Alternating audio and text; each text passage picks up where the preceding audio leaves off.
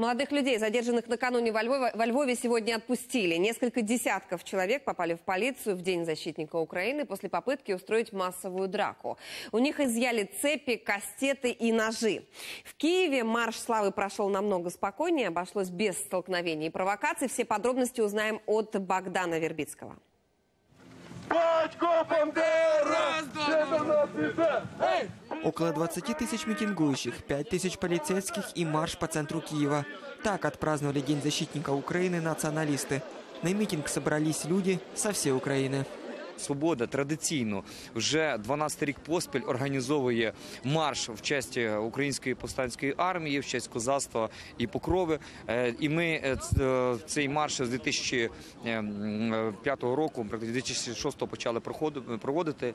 От і сьогодні ми знову зібралися і замітили, що до нас всі націоналісти приєдналися. Ранее подобные марши редко проходили без провокаций столкновений с полицией. В этом году инцидентов удалось избежать.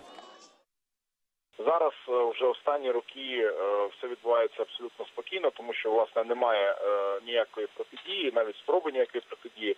Фактично, майже всі націоналісти вчора були єдині, як єдиний кулак, і виступили з єдиною позицією і засвідчили свою єдність, свою союзницьку співпрацю. Він зібрав ну як мінімум більше 20 тисяч учасників. Правда, по подсчетам МВД, митингующих было в два раза меньше. Впрочем, правоохранителям все равно пришлось работать в усиленном режиме.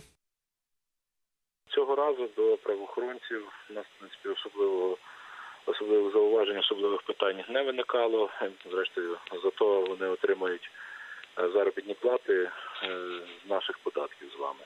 Все пройшло без будь-яких е, зауважень і проблем. Там доповідали, що були якісь е, затримання якогось хулігана. Ну це є звичні процеси під час е, подібних заходів.